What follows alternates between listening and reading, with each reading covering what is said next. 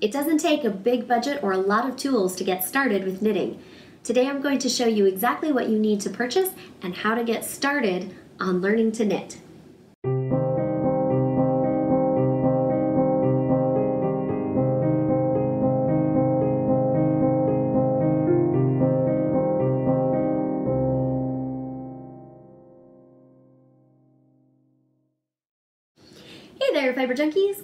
To the Color Cauldron. I'm Johanna, the owner and dyer behind Potion Yarns and host of this podcast. If you're a returning viewer, thank you so much for stopping by again. And if you are a new viewer, welcome to our fabulous, funky family called Fiber Junkies.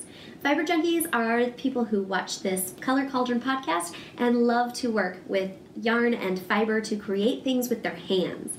Specifically, we love working with indie dyed yarn on this channel, although we also will dip into commercial uh, companies and big box store yarns from time to time as well, and just talk about knitting and crochet and spinning in general.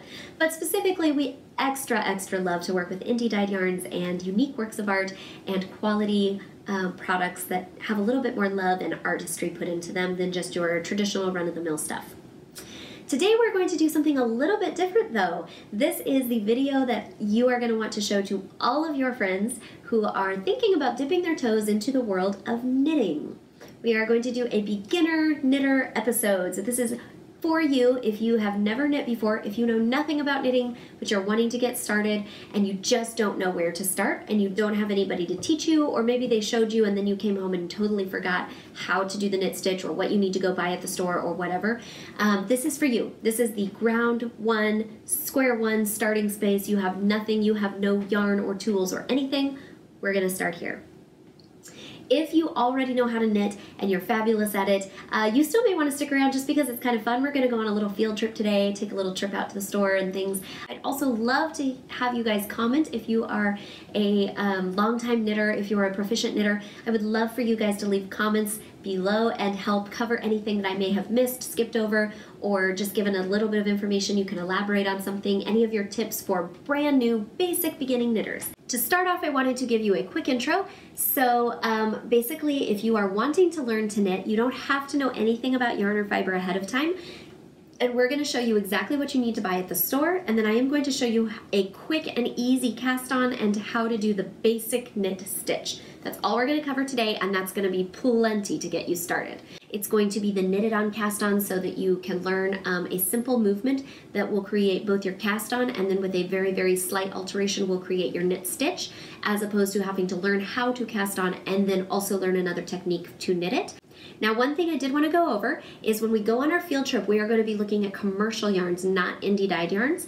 And most of the commercial yarns that we'll be looking at are going to come in a skein that is in a different type of put up, which means it just it looks different and it's ready to knit right from the ball when you pick it up at the store if you're purchasing yarn from me another indie dyer or some of your uh, if you have a local yarn store your local yarn store or um, some of the more high high-end companies they're often going to not always but often going to be selling their yarn in a skein, which is what this is. Some people call it a skein, um, I call it a skein, and uh, this is basically just a loop of yarn. So if you unravel this, it's a big circle, a big loop of yarn that is tied together so that it won't unravel. And then people have just taken it and twisted it up into this skein. So in order to knit from this, you would take out the end right here, like this, and then see it's gonna unfurl now you get a loop of yarn. You have a nice big loop. This is one of my hand dyed skeins. So you have this nice loop of yarn. If you just cut the end right here and start to knit from it, you are very quickly going to have a big, huge, snarled, tangled mess, and we don't want that. That is just going to make everybody's life miserable. So rather than knitting directly from it, you're going to need to wind it into a cake or a ball of yarn. I do have a video on my channel. If you go back and look through it, I do have a video that um, explains how you can wind your yarn from a hank and why you need to do that. It gives you great details on um, how to use a yarn winder and a swift, a ball winder and a swift, if you have those tools or if you have access to those tools. But if you're a brand new beginning knitter and you have no yarn or needles or anything, you probably don't have a yarn swift and you do not need one to begin with. Um, if you can have access to one, if you have a friend who has one, a knitting or crochet friend who has a yarn swift, it's really helpful because then you can create these center pull ball balls. This is the same color as this. It's just been wound into what's called a cake of yarn. So this way I can knit from the outside of the ball with this strand that's hanging free, or I can pull from the inside corner. There's a strand in there and you can pull it out and you can knit right from the ball so it's not rolling all around. Um, that's an excellent way to do it. However, if you're just starting out, you don't need to go rush out and buy a Swift because who knows, you may not even stick with this long term, right? So we want to keep our expenses to a minimum when we're starting. So what I would recommend is that you hand wind that ball. And I, um, as I mentioned, I have a video about winding your yarn before you use it. Go check that out. It's pretty short, I think five or six minutes. For our field trip today, we're going to be going to a big box craft store, a more commercial craft store where you're going to be um, purchasing non-indie skeins. So it'll be bigger companies that are creating skeins of yarn that are already in a ball form that you can knit right from.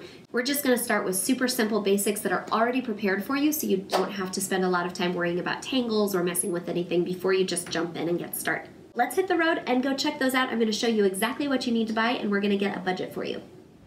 Okay, so here we are in the knitting section of the store. There's going to be some yarn and things and there should be an aisle where you'll find needles and crochet hooks and all the little notions that you need. Darning needles and little cutters and scissors and stitch markers and counters and all of those things. It's really easy to get overwhelmed. It's also really easy to think you need to buy something from a little bit of everything, but I'm just going to show you, remember we're just talking about things to get started. So um, if this is your very, very, very first time ever, there are a couple of different brands and styles of needles. You don't need to buy um, what I'm gonna show you. I'm gonna give you two options, but you can buy whichever one is in your budget and whichever one you think you would like the best. But I'm gonna give you two options of needle styles and then tell you my favorites from just like a basic big box store or you can find these on Amazon as well. So first off, our very first style that is very, very um, traditional and what most people learn to knit on is gonna be what's called a straight needle. It says right here. So they just look like two long straight needles with a little end cap on each one. And they have them in all these lovely different colors and sizes. If you're on a budget, economy is the way to go. So look for the Susan Bates or something similar to that. Um, and they're gonna be in that like four to five dollar range per set. I am going to pick up a size eight it has a little 8 on it. Um, it'll also usually say 8 US 5 millimeter. That's the size. If you're in another country other than the US, a lot of times they go by millimeters and, instead of numbers. In the United States, we go by needle sizes, and the larger the number, the bigger the needle. So we're going to go with an 8. Um, you could also choose a size 9 um, really, it's not going to matter too much. You can pick whichever one you want, but if you're just starting out, I recommend going right in the middle around an 8, a 9, or even a 10. Um, and those would be a really good starter one for you. But they have all different um, numbers, and largely that's going to be based on what you're making and what um, size of yarn that you use. If you have a pattern, you will need to consult the pattern and it will give you an idea of what size you need to buy. It'll usually say like US size 6, US size 8, whatever. We'll look at a pattern a little bit later um, to show you guys how to read a pattern and get an idea. But assuming that you have nothing already, you're just starting out, this is your very first time, just to knit some practice stuff and a basic scarf you don't need a pattern for, get size 8 or a 9. Okay, so that's the first option. The second option you can get is jumping right to a circular needle. Circular needles are my personal favorite and the way that I do most of my knitting these days because once you start knitting in the round, assuming that you fall in love with this and take off with it, you're going to need a circular needle. Circular needles are two needle tips and they're connected by a cable. It's all wound up in a circle here, but if you stretch it out, it'll stretch really, really long, and it is a cable. They have short cables for little socks and small circumferences and really long cables. The way you shop for a circular needle is at the top again, it'll say the millimeter size, four millimeter. The US size is a six, so size six. 29 inches refers to how long the cable is of your needle. So if you're knitting something really small, like a hat, you're gonna want something like a 16 inch cable so it'll go around your head or something. If you're knitting a sweater, you're gonna need something larger like 29, 36, 48 inches, depending on how big it is that you are knitting. There are hacks that we'll talk about later. Um, so if this is your very first time and you don't know, but you're like, heck yeah, let's just jump right into the circulars so I don't buy straight needles now and then have to come back later and buy more needles. If you're on a budget, go right for the circular needles because you can knit back and forth on them just like you would with a straight needle. You just won't join them in the round. You'll just knit across and then turn it around. What I like about straight needles, even for, or circular needles, even for straight knitting, is that you don't have to worry about dropping one of your needles or losing one. They're connected by the cable, so you keep your set of needles together all the time. I can't tell you the number of needles I have lost on airplanes, in the car, in my couch, etc., because I drop one um, or I set down my project and then come back later and one of them is missing. So I love circular needles because they keep them together and make it really easy to go either straight knitting or circular knitting. Again, Susan Bates or some other similar brand, there are multiple other affordable brands out there. Circular needles are probably going to run you a dollar or two more than the straight needles up front, but again, they have that versatility factor. So you can spend six or seven dollars on a needle now and then still have it when you go to circular knitting. Whereas if you buy the straight needles now and then you get into circular knitting, you're gonna spend $5 on a set of straight needles and then you'll have to come back and spend another six or seven on a pair of circular needles later. I personally don't like the aluminum or plastic needles as much as I like wooden needles. So bamboo or wood needles are my personal favorites. And this Clover brand which has the distinctive green packaging, is one of my very favorite affordable circular needles. They're a little bit higher quality, they have a softer sound to them, they just feel warmer and more natural and organic in my hands. So I personally prefer them. They also are not as slippery on the wool. They have a little bit more catch to them, so your stitches don't slip off the needle as easily as a metal needle. But that is a personal preference, and um, some people strongly prefer the um, plastic or aluminum needles. The nice thing about metal needles is they don't break as easily as the wooden ones, especially if you start getting into smaller sizes like a one or a two. I can't tell you the number of size one wooden needles I have broken over the years. Um, any little stress and it will snap. So you might want to consider doing a um, metal needle to start, but it's really just personal preference and what your budget can afford. As you can see, these wooden ones are a little bit pricier, but again, to me, they're a, a higher quality, so it's worth it. Okay, so over here we have some of the other notions. These are really, really fun and you'll eventually need to get into buying cable needles and um, stitch markers and all of those things. For right now, you don't need anything. You can make your own stitch markers by using um, little zip ties or um, twist ties that you just make a little ring and wrap around your needle if you're on a super tight budget. But if you want to, um, it never hurts to have some on hand. I would recommend some of these little plastic interlocking ring needles. You can get a whole pack of 20 of them for just a couple of dollars at one of these big stores. I think this one is four or five dollars for the pack of 20. They also have some of these ones. I don't like these ones as well because they slip off my needles. They don't have the locking mechanism. They just slip on and so they fall off really easily but these are a little bit cheaper um, these ones are even cheaper if you like those that just like slip on the needle and they have them in different sizes for different size needles. These are the ones, oops, excuse me, these are the ones I use the most at home when I'm not using my fancy awesome ones that I buy from makers on Etsy and um, independent websites. But if you are trying to stay on a budget and just test out and see if you like this knitting thing, this is a good way to go. And again, I'd recommend getting those if you have a few extra dollars, but if you don't, don't worry about it. You probably won't need them just to get started. Okay, here we are in the yarn aisle, one of the many yarn aisles. Um, depending on how big your store is that you go to, if you go to one of the larger craft chain stores, there will usually be at least two or three aisles stuffed full of wool and cotton and acrylic and just all kinds of yarns, mostly acrylic here, but um, lots of different types of yarns. And it can get really overwhelming if you are brand new and you have no idea where to start. So we're gonna go over a couple of things and I the thing I want you to keep in mind is that it's not so much the actual brand that you choose at this stage, because most of these yarns are going to be pretty comparable. It's more about the specifics of the yarn. So I'm going to show you a couple of things to look for.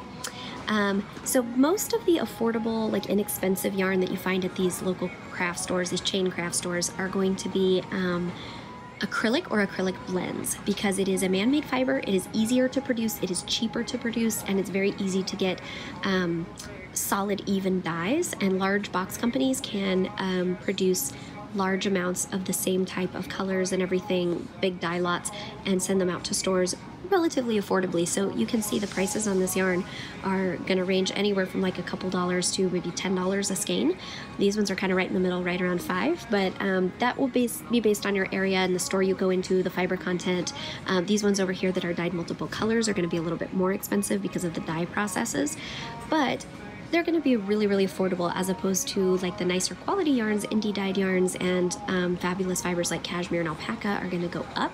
So when we're just getting started, we don't want to waste a lot of money um, and ruin some really, really nice yarns. So we're just going to start with some basic, simple, easy stuff that if, if we mess it up, we're not out too many dollars, right? Okay, so I've picked up a skein here. Um, we're gonna look on the back of the ball band. Here it's gonna tell you the name, grape or raisin, um, this number here is going to be like a dye lot number, so if you're buying multiples, you'll want to try to match up the numbers at the top as much as possible. Um, and then here it tells you the fiber content, 100% acrylic. It has some um, suggestions for how much you need. If you're making a hat, you can get away with one skein. If you're making a scarf, you're going to need two probably. If you're making a sweater, you'll probably need around six or more depending on what size you make. So that's really helpful. Um, but here's the important part that you want to look for you want to look for this number right here. On a lot of big box store yarns, they're going to have a number from 1 to 6 um, or 0 to 6, and that will tell you how thick the yarn is.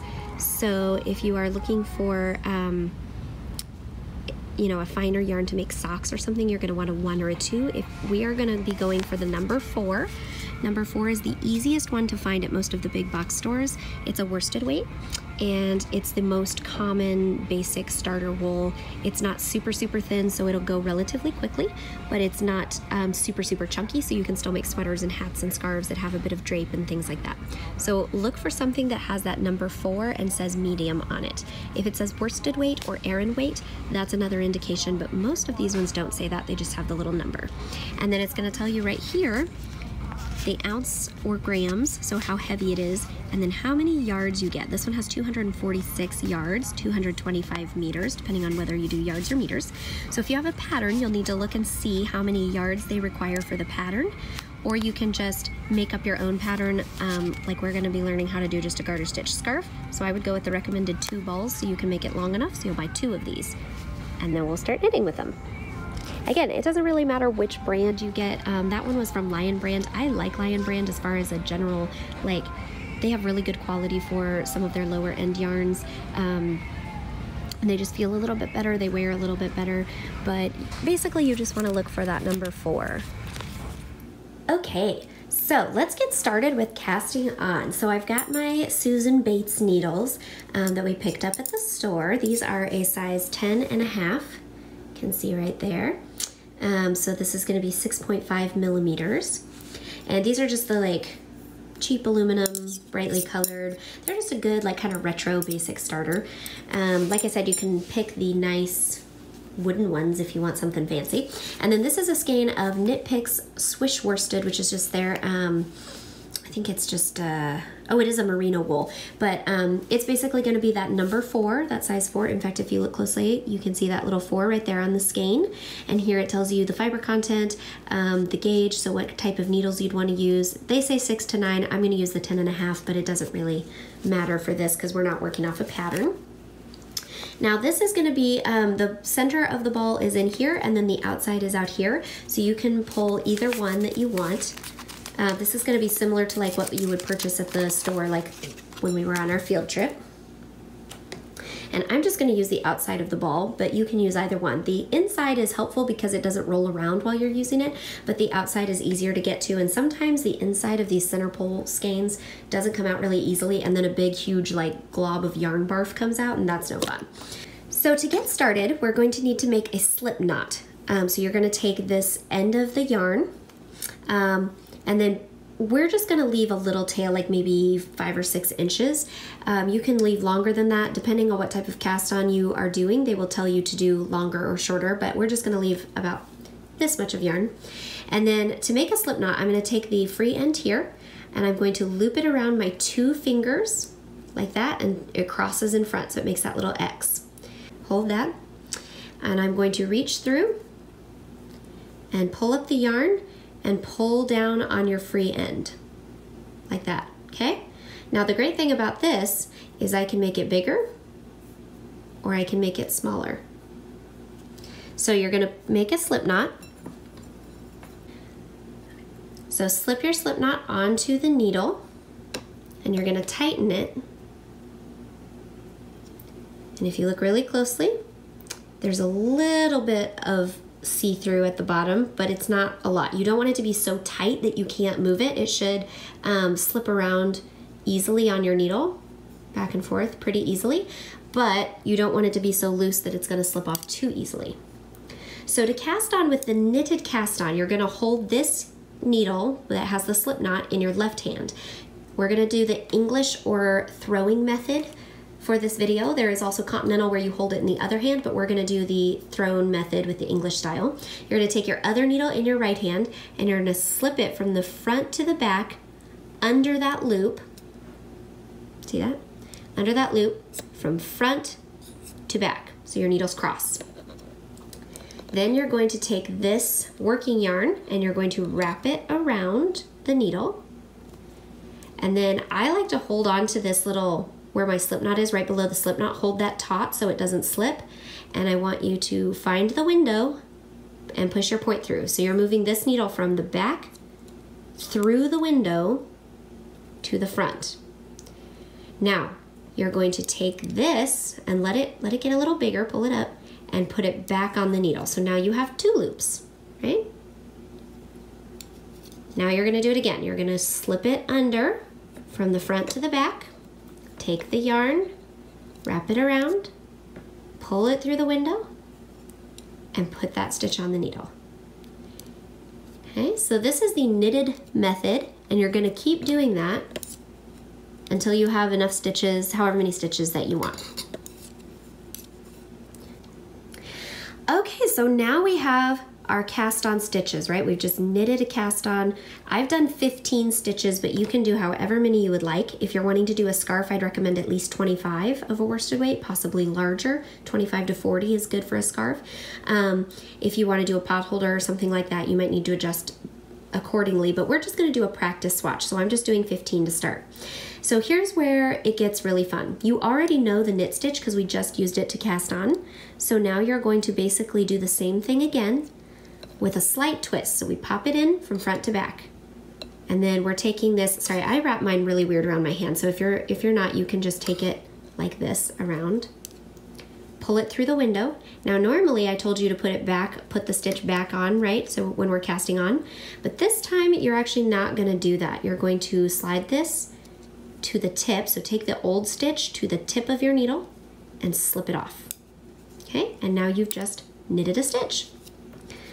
So from front to back, slip that yarn around, pop it through the window, and slip it off.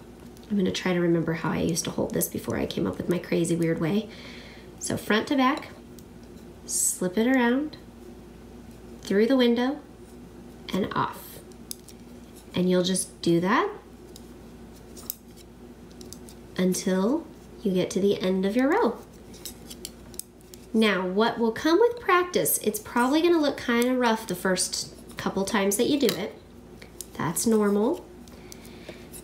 But what comes with practice is that you can eventually, oops, oops, get to the point where your tension is even, so all your stitches look very much the same. When you first start, it's very common to have your stitches be either super, super loose or super, super tight and you're like struggling to even get it under the loop and get your needle in the stitch. If you're struggling to get it through this first part here where you slip it in the stitch, then you are probably knitting too tight and you need to loosen up and not hold your yarn so tightly, okay? This is where going to a class or going into your local yarn store or working with a friend who already knows how to knit can be really, really helpful because they can help you identify when you're being too loose or too tight and fix that, okay? So once we get done, sorry I did that really fast. Once we get done, we have all of our stitches over onto the right hand needle. So now you're just going to take that and flip it around. Same thing if you bought a circular needle. You would just flip it around It's just connected on the end, member, but you'd still do the same thing. So now all of these stitches will be in your left hand and your free needle is your right hand again. And then you're gonna go back and just do the same thing again. When you go back and do the same thing again, this is called garter stitch. You knit every stitch on every row, called garter stitch, okay? It's the most basic beginning stitch because you just do the same thing over and over. After a while, you'll learn to purl where you're basically doing the stitch, same stitch but backwards in reverse. I know it sounds scary right now, but it's not. It's actually quite fun and easy once you get the hang of it. But we will do that in another video. There's a bunch of videos out there already if you're super eager to get started. Go ahead and just search for how to purl. But I would practice until you get the hang of this first. And that is the throwing method or English method knitting in garter stitch. Okay, so I hope that was really helpful for you. I hope that that gave you a really good starting base, just some things to go look at, um, exactly what you need, and enough inspiration to get you started. I did want to give you guys a few more resources because I, um, this is obviously just a short video to get you started on the path. This isn't going to be a step-by-step, we're going to do, you know, knitting from the ground up every single week, give you a new technique or stitch or whatever. I'm going to try to work some of those in from time to time, but we talk about a lot of things on this podcast and I have a wide range of people out there watching who already know those things. So we're going to um, just be sprinkling in little bits here and there for the beginners, but there are a lot of resources out there for you and I wanted to give you some of those so I don't just leave you high and dry with only one cast on in the knit stitch, right? So once you get some stuff knitted a little ways, once you get a nice square for a pot holder or a rectangle for a scarf or whatever it is that you're making to begin with, um, you are going to eventually want to cast off, which is what we call um, ending our our project. So it's basically when you um, get all of those live stitches off of your needle so that they won't just unravel, you have to like close up those stitches and end the project at some point. Eventually you run out of yarn or you just get sick of it or whatever. So you have to end it at some point. So my number one resource for cast-ons, cast-offs, how to buy yarn, YouTube is going to be your best friend. It's free, it's easy, you can access it at any time of the day or night as long as you have an internet connection. Um, it's a wonderful, wonderful resource as an advanced knitter, someone who's been doing this for over 10 years, I still use YouTube a lot. It is my number one go to resource when I need help remembering a technique or I am looking for a new technique. So there are literally thousands, if not millions, of resources on YouTube, totally free. So definitely check that out. Some of you guys are going to learn a little bit better if you have someone actually there showing you instead of just a video or if you can read something. So there are other resources as well. Google is again one of your best friends. There are hundreds, if not millions, of knitting blogs out there, and a lot of them will cover basics like getting started, casting on and casting off, choosing yarn, doing the knit stitch. They'll have photos um, to walk you through like photo tutorials. There are uh, websites and pages that are specifically dedicated to providing free basic knitting information so that they will have how to do the knit stitch and they, they'll have it different ways. There are people who knit um, English style and there are people who knit continental style.